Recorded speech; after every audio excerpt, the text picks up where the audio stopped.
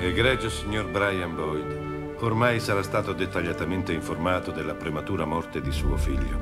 Tuttavia ci sono dei particolari personali. Siamo che ritengo- vivamente addolorati. Nessuna mia parola. Era un ottimo soldato. Riguardo le circostanze, Rende questa perdita tremenda. L'ufficiale comandante di Ha Robert reso un servizio eroico al suo paese. era un valoroso un amico devoto. Dio e l'aiuto di suo figlio sono in grado. Quelli di noi che accetti la prego le mie più sentite condoglianze. lascerà nel Il nostro più profondo ricordo. cordoglio.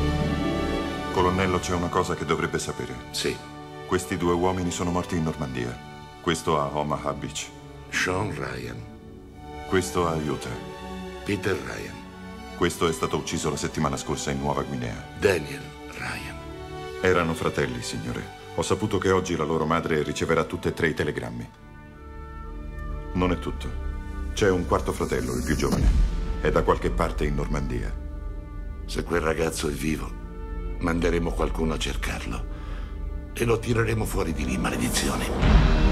Un soldato della centesima ha perso tre dei suoi fratelli e ha diritto di tornarsene a casa. Non sarà facile trovare un particolare soldato in mezzo a questa guerra.